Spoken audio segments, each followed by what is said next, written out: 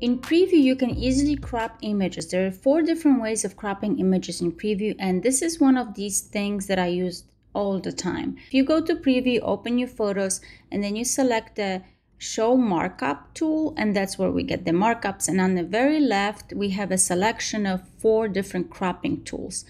The first one is the, the one that's usually by default selected and you don't usually have to select it yourself. So usually i start with a photo let's say it's you know i download it from somewhere or i have it from somewhere and it looks like this has this white space. So i can just rotate it. And then i usually want to remove the white space so you can do command a to select all. And now if you you will see these blue dots on the dash lines and you can just resize it you can grab it and resize it. And when you're resizing, it looks like this. You have this kind of like a crosshair. If you have a hand showing up as your icon, then it means you can move the selection. So you can adjust the selection by just moving it. So, you know, don't be afraid. Like if you're adjusting it, you feel like, oh, if I let go, you, I will lose it. No, you can still adjust it. Once you're satisfied, you can go to tools and crop or command K. So I crop it like this.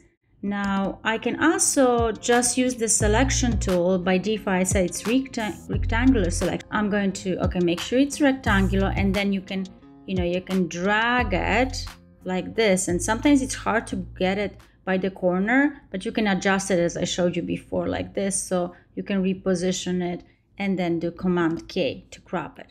Now the second um, selection tool is the oval one, which is elliptical. So if you click on that, you can just select things and make it a different look, kind of like a circle, oval like this, and then do Command K like that.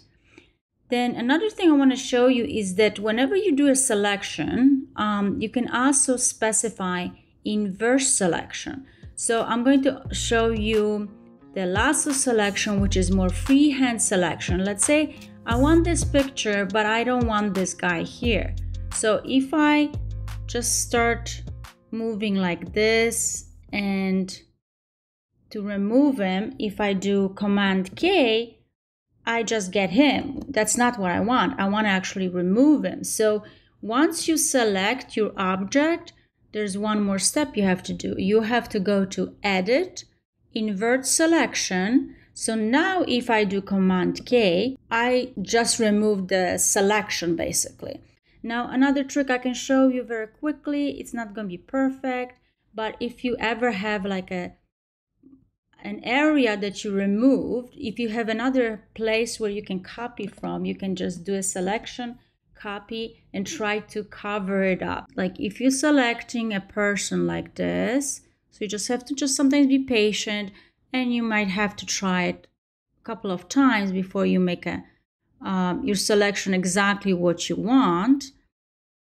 But it's pretty good. You can also still adjust the selection once you are done with just going around your person. I know I'm just holding with my one finger on my trackpad so then I don't lose my selection. Once it's like this, I see my hand icon. I can still reposition. You can see. So this could be a cool effect if you select something like in the shape of something and then you want to crop it out of something else. So I can do Command K to crop it like this. But let's say I'm going to go to my dog selection here. I can also select the dogs, but I can also use the smart lasso. Smart Lasso, it's should be a little bit smoother, but actually I found that sometimes it's actually worse than me just doing it freehand. So just see what works best for you. But you can just select it like this. And for some reason, I don't know, it hasn't worked the best for me in the past. And actually, the freehand option worked a little bit better but you just have to test it out on your own experience. So let's say I like this. You see, like when I zoom in, look at the, it just seems like the smooth lasso, it just took off more of the dog off than if I just did freehand. But anyway, if I do you see, it just it lost a lot of the dog.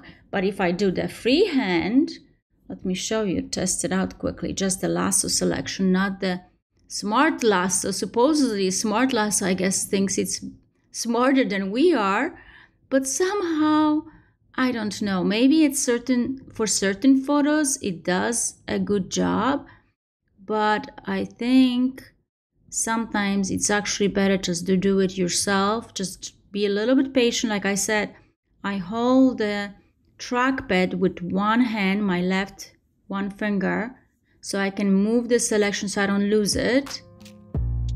When I'm dragging with my right hand with one of the fingers. So if I do this, and let's compare.